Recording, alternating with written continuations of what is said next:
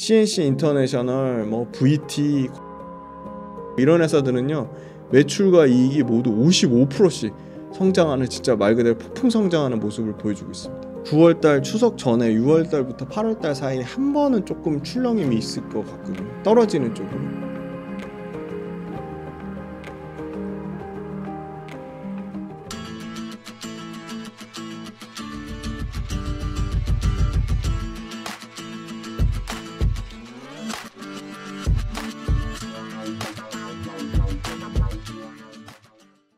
어떤 기업이 벌어들인 이익 곱하기 그 회사에 대한 기대값 멀티플이라고 하는 PER 배수가 될 수도 있고 PBR 배수가 될 수도 있고 PSR 배수가 될 수도 있고 EV 에비타 배수가 될 수도 있는 그러니까 주가는 되게 심플해요. 그 회사가 벌어들이는 한 주당 순이익 곱하기 그 회사에 대한 사람들의 기대값 멀티플인데 화장품은 중국에 대한 의존도 때문에 야 중국 망가지면은 화장품 회사는 다 박살나는 거야.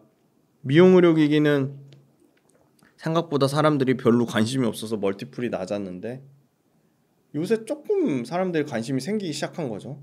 근데 사람들의 관심만큼 이익이 더 빠르게 올라가는 거니까 그러니까 이익은 이렇게 막 가고 있는데 사람들의 관심은 조금밖에 안 올라와요. AI 반도체는 이익 이익도 좋아져요. 이익 좋아지는데 이익 좋아진 만큼 사람들이 관심이 너무 높아요. 같은 수준으로 올라온 거고 미용 의료기기는 최근에 주가는 많이 올라와서 관심도가 생겼지만 불과 한 달 전까지만 해도 미용 의료기기 관심이 아무도 없어요. 왜냐면 제가 알아요. 미용 의료기기를 제 유튜브 채널에 올리면 사람들이 안 봐요. 사람들은 2차 전지 아니면 반도체, 로봇 조금 관심 있고 심지어 화장품 조회수가 뭐 2천도 안 돼요. 그러니까 너무 속상한 거죠. 그런데 사람들의 기대값이 많이 안 올라오는데 이익은 막 저만치 막 앞서간다? 그럼 이 회사는 사람들의 기대감만 좀만 올라오면 주가가 완전 2차 전지처럼 갈 수 있는 상황이 되는 거죠. 그러면 투자하기 제일 좋은 상황인 게 뭐냐면 이익은 계속 막 올라가는데 화장품이나 미용 의료기처럼 사람들 기대감 낮은 거거든요. 반대가 제일 안 좋은 거죠. 사람들 기대값은 엄청 뻥튀해 놨는데 이익이 못 쫓아와요. 그럼 주가는 떨어질 수밖에 없는 거거든요. 그런 측면으로 봤을 때 화장품하고 미용 의료기기는 아직까지 사람들의 기대값이 막 2차 전지나 반도체나 뭐, 뭐 핫한 소위 말한 정부의 저 PBR 밸류업처럼 기대값 멀티플은 낮은데 이익은 굉장히 가파르게 개선된다는 거고요. 말씀 주신 아주 구조적인 큰 변화가 있는데요. 중국에 대한 의존도를 국내 업체들이 상당히 급격하게 낮추면서 그 부분을 미국하고 동남아시아, 유럽으로 확산했다는 거예요. 근데 이 수출 데이터가 말해주는 게 뭐냐면 중국에 대한 비중이 57%까지 갔다가 지금은 중국에 대한 포지셔닝이 26%대까지, 그러니까 50%대에서 20%대까지 엄청나게 떨어뜨린 거예요. 근데 반면에 보시면 다른 나라 보시면 미국이나 동남아나 일본이나 유럽은 연간 50%씩 성장하는데요. 미국이 특히 80% 성장했고요. 재미난 나라 중에 유럽 중에 네덜란드는 300% 성장했어요. 그 동남아가 대략 한 55% 정도 성장했고요. 그러니까 비중국 평균 때린 게 지금 53% 성장했으니까 엄청나게 성장한 거고요. 유럽 70% 성장했고 미국 92% 성장했고 일본은 원래 잘 하던 나라인데 37% 성장했어요. 동남아 35% 성장했고. 그러니까 골고루 성장을 잘하고 있다는 거고요. 그리고 화장품 하면 프랑스거든요. 예, 대한 화장품 산업 연구원에서 화장품 통계를 냈는데 가장 치열한 데가 일본이거든요. 까다롭고. 근데 일본에서 미국 말할 것도 없고 뭐 미국이 1등이니까 미국 빼고 일본에서 22년도 2년 전부터 프랑스 그러니까 일본 사람들이 프랑스 화장품 수입하는 거 금액 우리나라 화장품 수입하는 금액을 22년도에 제쳤고요. 지금 일본 화장품 수출액이 8억 6,056만 달러로 전년 대비 8% 이상 증가하면서 일본 쪽에서 상당히 선방하고 있다. 그래서 4월 달 전체 수출 동향으로 보면 화장품 수출이 전년 대비 27% 증가하면서 숫자가 굉장히 좋아지고 있다는 거고요. 그 다음에 이제 두 번째는 중국 조금 말씀드리면 중국은 판매 채널이랑 판매 브랜드별 간의 차별화가 극심해진 거죠. 그러니까 예전에는 중국의 뭐 최대 오프라인이라고 할 수 있는 티몰에서 브랜드가 잘 터지면 그게 대박이 났었는데 이제 티몰은 오히려 화장품의 그 총 거래액이 11% 감소했고요. 그중에 특히 우리가 잘 아는 색조 쪽은 6% 정도 감소를 했고요. 그런데 이 티몰이 줄어든 게 어디로 다 넘어갔냐? 뭐 인스타의 대항마라고 하는 틱톡으로 다 넘어갔거든요. 틱톡은 지금 화장품 성장이 GMV가 33%고 색조 쪽은 36% 엄청나게 성장했는데 틱톡은 재미난 게 이 티몰은 100%다 소위 말하는 에스티로더, 로레알 다 이런 다 글로벌 브랜드가 싹쓸이했는데 여기는 틱톡 같은 경우는 국내 LG 생활건강에 뭐 더후 그리고 중국 업체들 프로야 프로야 중국 프로야 화장품 그다음에 갑자기 이름 생각 안 나. 중국 로컬 업체들이 상위권으로 막 올라오고 있어요. 그래서 틱톡 판매 순위에 들어가 있는 중국의 현지 브랜드가 성장한다는 건 뭐냐면 거기 뒤에 만드는 위탁 생산하는 OEM 업체인 코스맥스, 한국콜마 이런 회사들은 사상 최대 실적을 갱신할 수 있는 거죠. 주요 화장품 업체 1분기 수익을 보면 아모레퍼시픽이 올해 830억 영업이 기록하면서 작년 실적 뛰어넘었고요. 작년 1분기. 그 다음에 LG생활 건강도 작년에 1,459억에서 올해 1,510억으로 당연히 영업이 개선됐고요. 애경산업도 154억에서 165억으로 개선됐고요. 자, 코스맥스 중국 조금 회복됐다고 하니까 어마어마하게 실적이 개선됐어요. 138억에서 455억 4배 가까이 영업이익이 늘어났고요. 1분기 기준입니다. 한국콜마 120억대에서 324억으로 3배 가까이 실적이 개선되면서 브랜드 쪽보다는 어 그 ODM 위탁 생산하는 ODM 업체가 수혜를 받았고요. 그 밑단에 있는 회사들 실적은 사실 어마어마합니다. 그 밑단에 이제 CNC 인터내셔널, 뭐 VT, 코스메카 코리아, 클리오 이런 회사들은요 매출과 이익이 모두 55%씩 성장하는 진짜 말 그대로 폭풍 성장하는 모습을 보여주고 있습니다. 아 저는 주가는 엄청나게 올라서 부담스러운데 사실 VT라는 회사가 저는 굉장히 숫자가 잘 찍히고 코스메카 코리아도 숫자가 엄청 잘 찍히고 심지어 그 웨딩 업체 전문이었다 완전 화장품 회사로 탈바꿈 하는 그 채시라 남편 김태욱 사장이 하는 아이패밀리 SC도 엄청나게 실적이 좋아지고요. 그 다음에 아까 ODM 하는 코스맥스 한국콜마 다 좋은데 저는 그럼에도 불구하고 주가 많이 올랐음에도 불구하고 VT가 제일 좋아 보이는 게 VT가 화장품이 있고요. 엔터가 있어요. 엔터 지금 다 박살나고 있는데 유일하게 덜 빠진 게 큐브 엔터거든요. 큐브 엔터에 누가 있냐면 아이들이 있습니다. 아이들. 네. 그래서 아이들이 굉장히 잘하고 있고요. 그 다음에 라미네이팅이라고 있는데 화장품부터 먼저 말씀드리면 이 들어보셨을 거예요. 리들샷이라고. 일단 기본적으로 다이소에서 품절 대란 터졌고요. 이제 올리브영 막 들어가기 시작하거든요.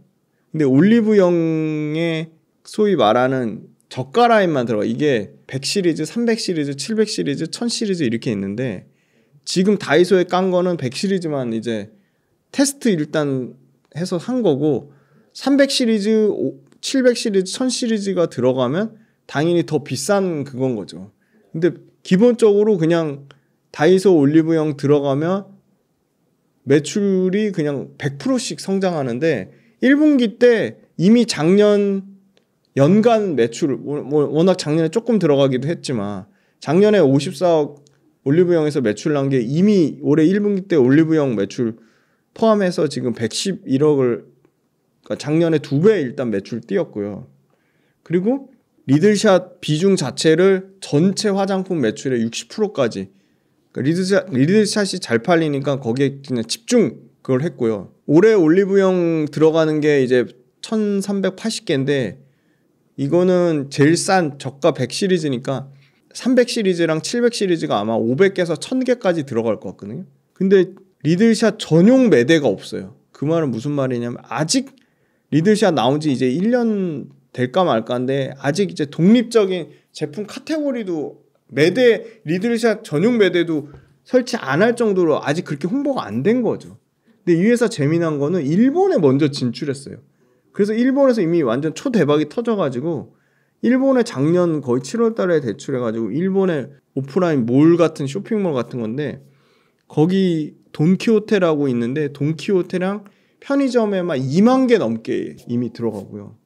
일본에서는 지금 일본 전 지역에서 판매 폭증한 게 지금 거의 8, 9개월째 지금 사실 나오고 있고 한국은 이제 이제 올리브영 이제 까는 시작이니까 한국에서도 외형 성장 나올 거고 그리고 이 리들샷 같은 게 장점이 뭐냐면 화장품인데 성별하고 나이 불문하고 다양하게 엄청나게 수요가 늘어나고 있다는 거고요.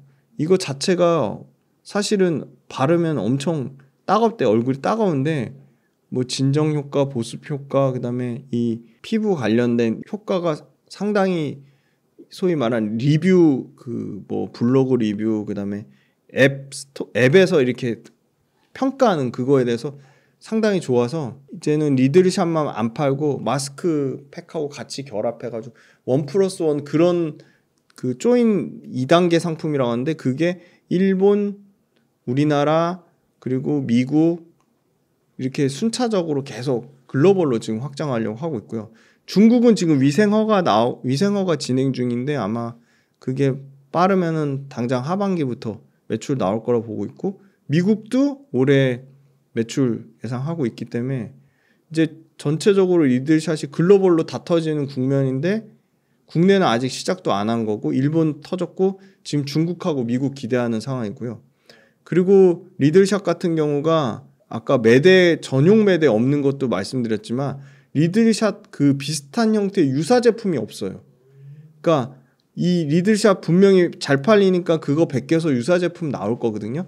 그럼 리들샷만의 그런 시장이 새로 신규 그런 리들샷 관련된 카테고리가 형성되면 그때부터는 더 본격적으로 시장 파이가 엄청나게 커질 거라고 봅니다. 그래서 실적을 봤더니 이 회사가 올해 2분기에 화장품 쪽 매출만 연간 130% 성장하고요.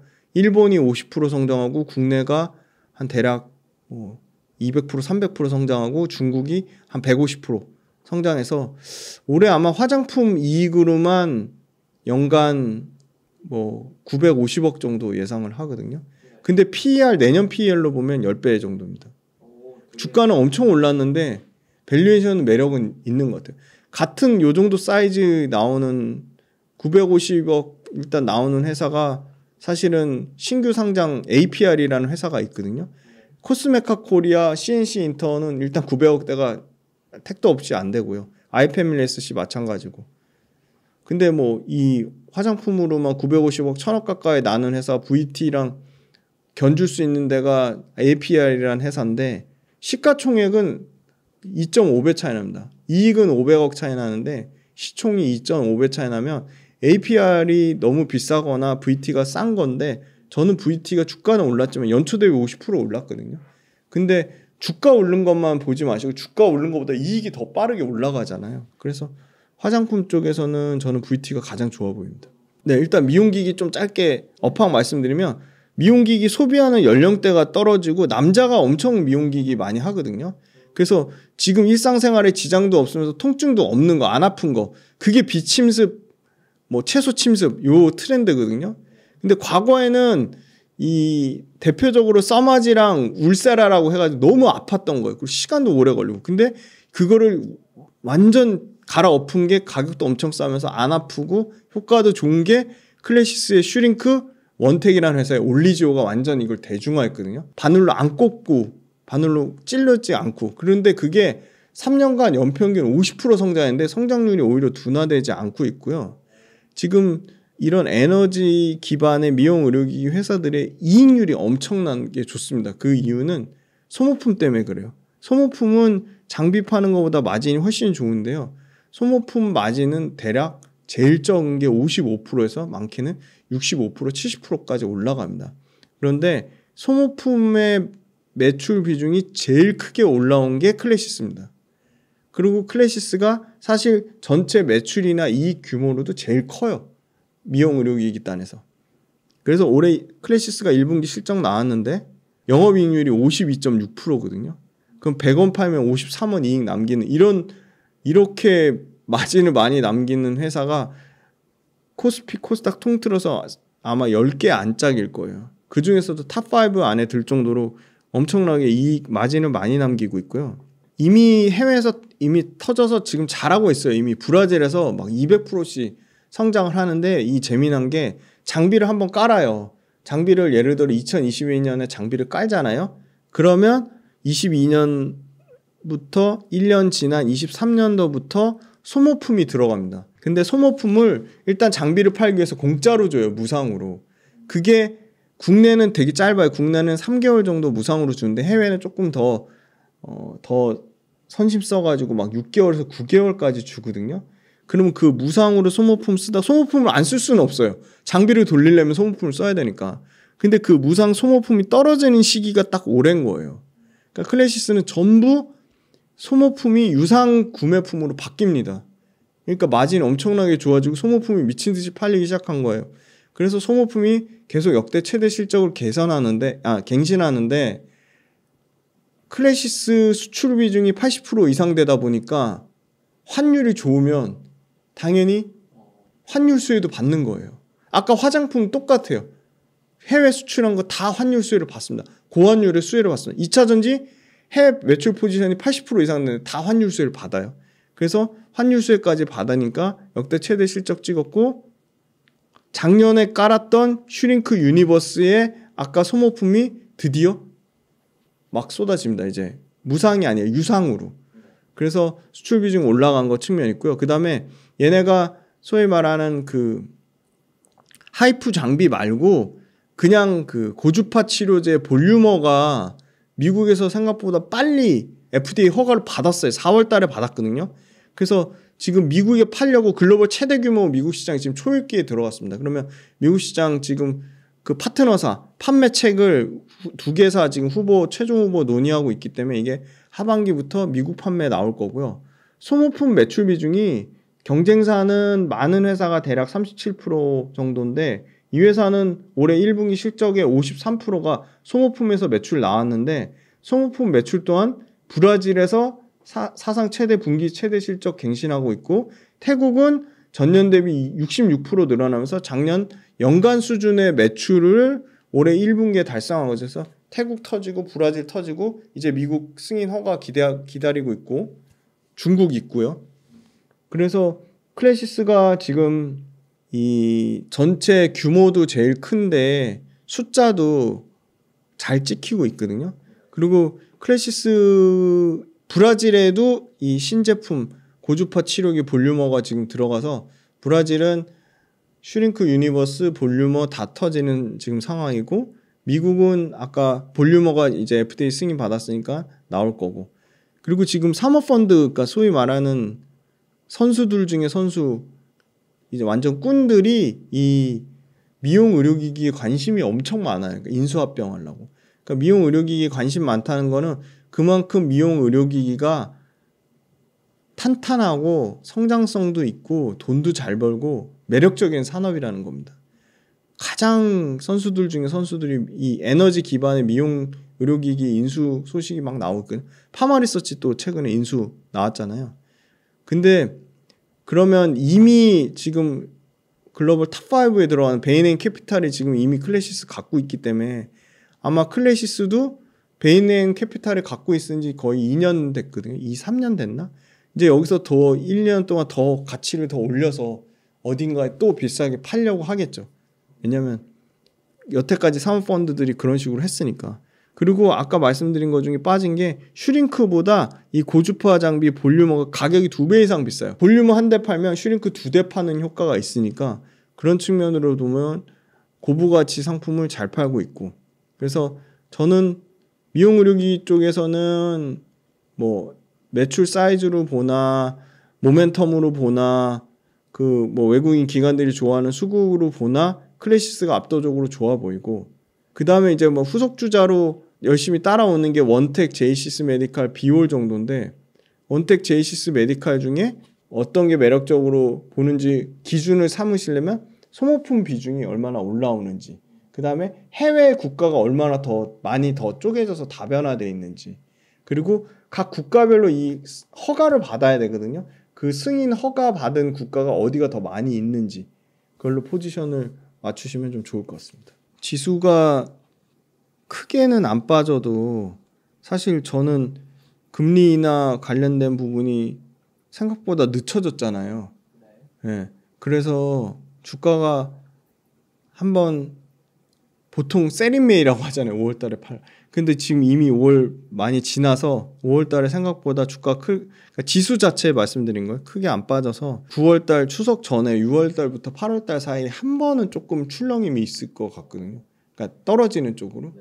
그래서 오히려 조금 지금 시점보다 조금 더 싸게 좋은 기회를 잘 잡으실 수 있을 것 같아서 30% 정도는 일단은 현금을 보유하고 계시는 게 좀 좋지 않을까.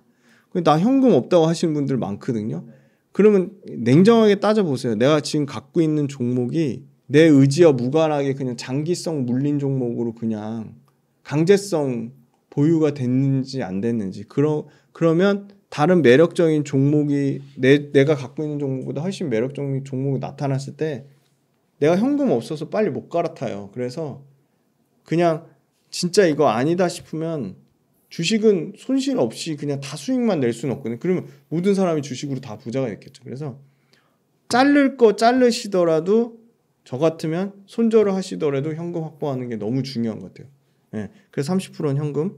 그 다음에 나머지 저는 20%는 2차 전지 중에 아까 말씀드린 충전과 관련된 종목. 여전히 저는 뭐 17.7% 올라온 거 그건 아무것도 아닌 것 같고 사실은 2차 전지 양극재 올라갈 때는 뭐 200% 300%씩 올라갔잖아요. 그래서 2차 전지 소재 쪽에 20% 그리고 미용 미용 의료기기 화장품 합쳐서 한 종목 거기서도 20% 정도는 충분히 투자할 가치 있다 봅니다. 20% 요새 방산이 주춤하거든요. 근데 방산 아직 저는 모멘텀 안 죽은 것 같아서 방산 15% 그럼 지금 총 몇 프로죠? 15% 남았죠. 전 로봇 15% 하겠습니다.